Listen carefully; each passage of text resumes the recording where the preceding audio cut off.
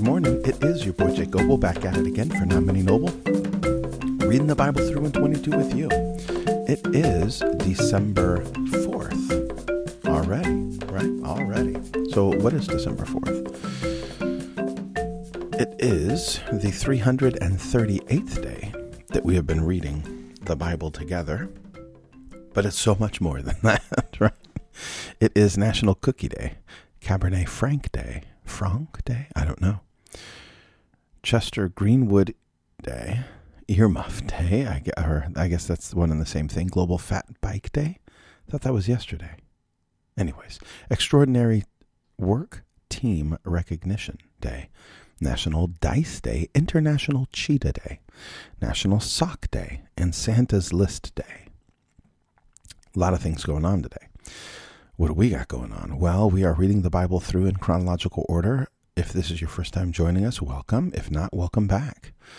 We began in Genesis and we are now in Acts. Paul was uh, attacked in Jerusalem, rescued by the, the Romans, I guess, but he was still imprisoned, but not imprisoned, held, detained, and then the Jews were going to kill him.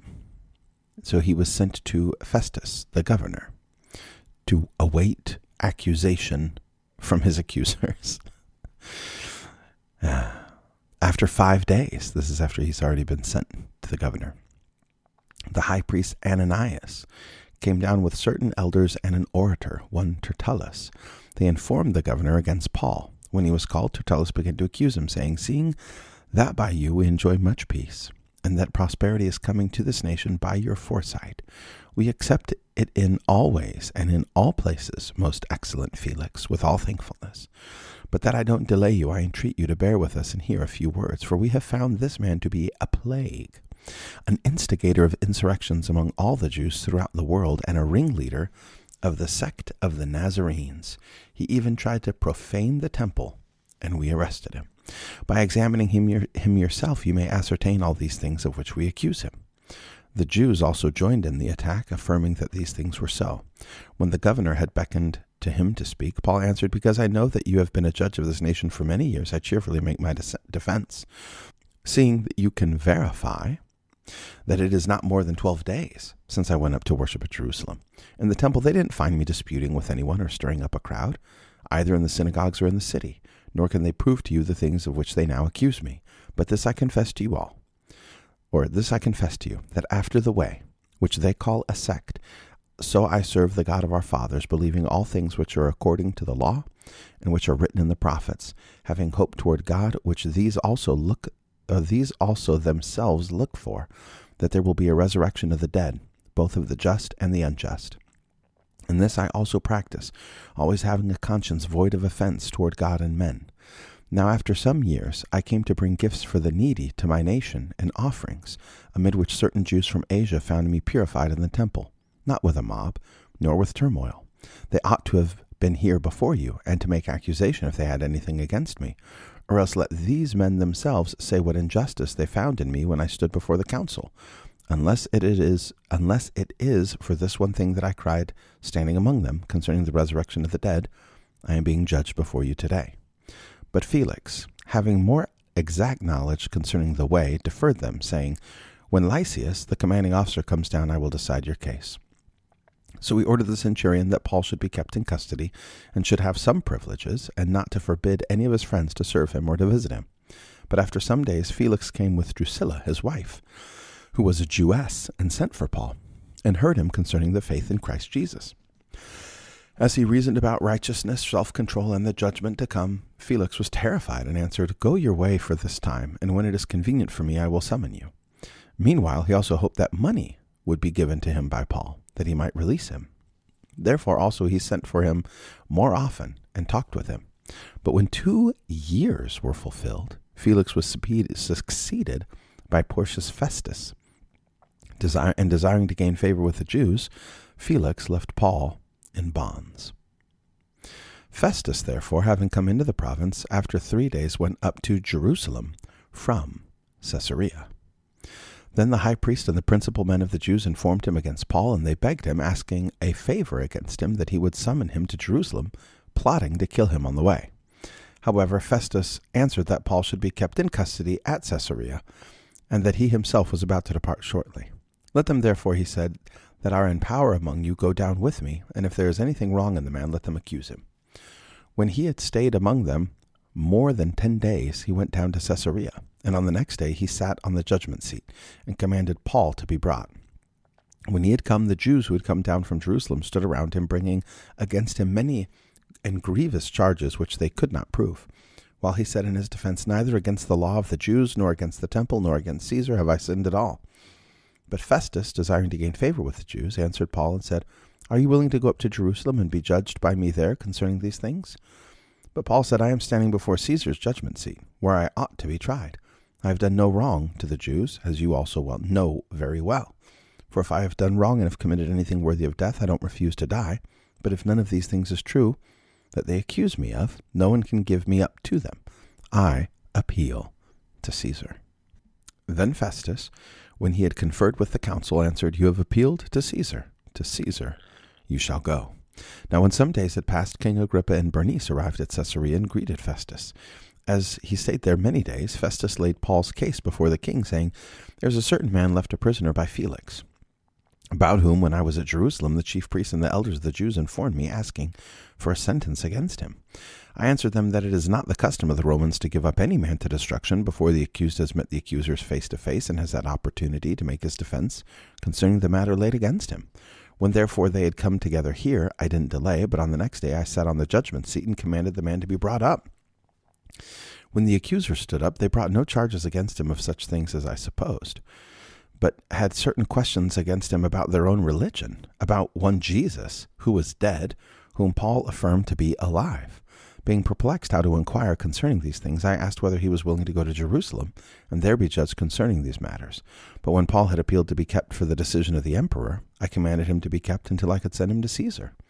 Agrippa said to Festus, I also would like to hear the man myself. Tomorrow, he said, you shall hear him. So on the next day, when Agrippa and Bernice had come with great pomp, and they had entered into the place of hearing with the commanding officers and the principal men of the city, at the command of Festus, Paul was brought in. Festus said, King Agrippa and all men who are present with us, or here present with us, you see this man about whom all the multitude of the Jews petitioned me, both at Jerusalem and here, crying that he ought not to live any longer. But when I found that he had committed nothing worthy of death, and as he himself appealed to the emperor, I determined to send him of whom I have no certain thing to write to my Lord. Therefore I have brought him out before you, and especially before you, King Agrippa, that after examination I may have something to write. For it seems to me unreasonable in sending a prisoner not to also specify the charges against him, which makes sense.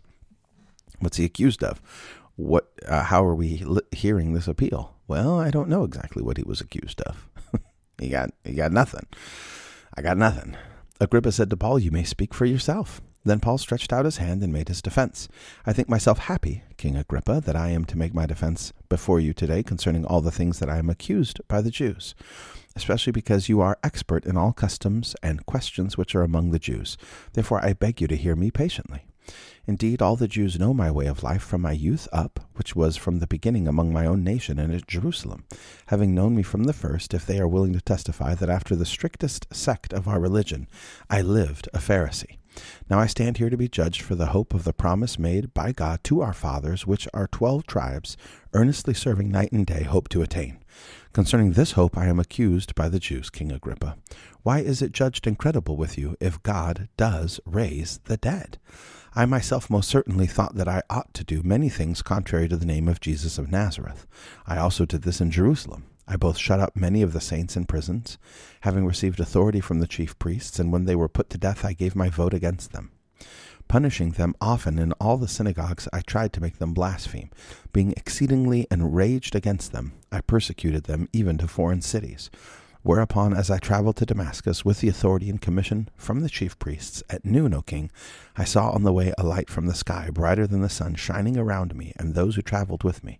When we had all fallen to the earth, I heard a voice saying to me in the Hebrew language, Saul, Saul, why are you persecuting me? It is hard for you to kick against the goads. I said, Who are you, Lord? He said, I am Jesus, whom you are persecuting. But arise and stand on your feet, for I have appeared to you for this purpose, to appoint you a servant and a witness both of the things which you have seen and of the things which I will reveal to you, delivering you from the people and from the Gentiles to whom I send you, to open their eyes that they may turn from darkness to light, and from the power of Satan to God, that they may receive remission of sins and an inheritance among those who are sanctified by faith in me. Therefore, King Agrippa, I was not disobedient to the heavenly vision, but declared first to them of Damascus, at Jerusalem, and throughout all the country of Judea, and also to the Gentiles, that they should repent and turn to God, doing works worthy of repentance. For this reason the Jews seized me in the temple and tried to kill me. Therefore, having therefore obtained the help that is from God, I stand to this very day, testifying both to small and great, saying nothing but what the prophets and Moses said would happen how the Christ must suffer, and how by the resurrection of the dead he would be first to proclaim light both to these people and to the Gentiles. As he thus made his defense, Festus said with a loud voice, Paul, you are crazy.